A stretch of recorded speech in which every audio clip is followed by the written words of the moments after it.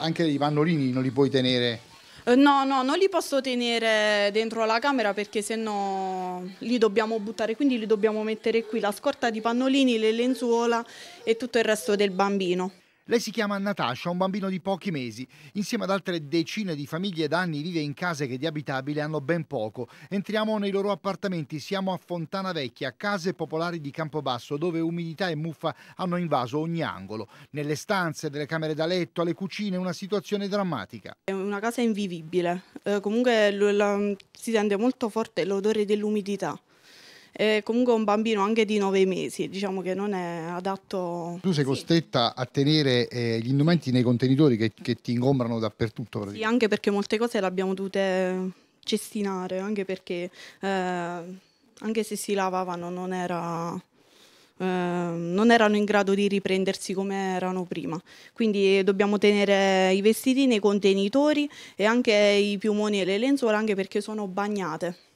Queste famiglie hanno più volte sollecitato interventi, ma le risposte ricevute sono state sconfortanti. Sì, abbiamo parecchie volte comunque contattato l'Istituto delle Case Popolari di Campobasso, però venivano a fare degli interventi, venivano a fare le solite fotografie eh, nell'appartamento, però più di tanto non, eh, è stato tutto a spese nostre tutto quello che abbiamo fatto. È vero che vi hanno insomma, consigliato di aprire, di areggiare? Sì, sì, perché ci dicevano che il motivo di tutto ciò era perché cucinavamo troppa verdura. Scendendo lungo le scale sono evidenti gli altri gravi problemi, anche di sicurezza, gli ambienti comuni si allagano facilmente, ci sono finestre e porte pericolanti e già in passato si sono rischiati incidenti.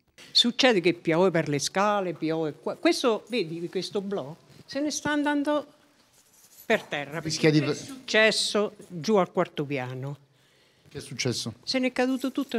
L'oblò si è staccato perché pioveva, perché c'era l'acqua. C'era il bendo e di fatto questo già si sta staccando pure questo. Però quello se ne è caduto proprio per terra. E meno male che è successo che non si è trovato nessuno. Se trovavano un bambino, una persona, l'ammazzato.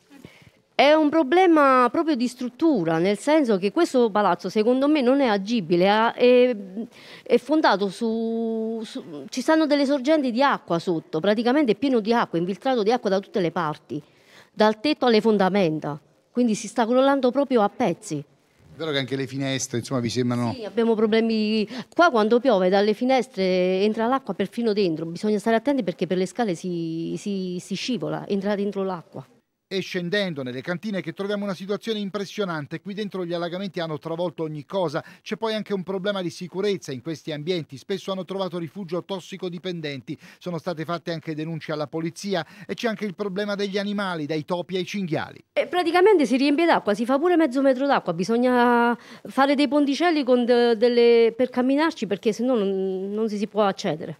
Perciò sono stati messi questi passaggi. Sì, sì, sì, altrimenti non si può accedere. Qua è una piscina, qua. Comunque questa è la mia cantina e sta tutta ricoperta di, di porcherie. Guardate che, che situazione che c'è qui dentro, sembra che c'è stato tipo un, un terremoto.